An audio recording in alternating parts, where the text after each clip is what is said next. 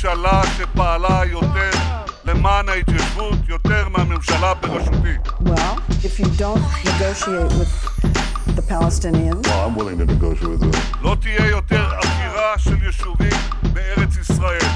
לא יעקרו יישובים. You happen. know, I haven't reversed my position. זה לא יהיה יותר. We will solve this because we want two nation states. ביחד נשמור על השומרון, You would be pushing for a two-state solution if Two that. states for two peoples.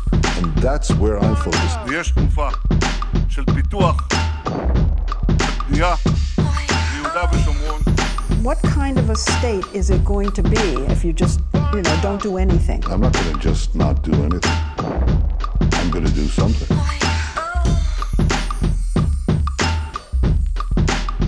Uh, at peace and with the proper security arrangements.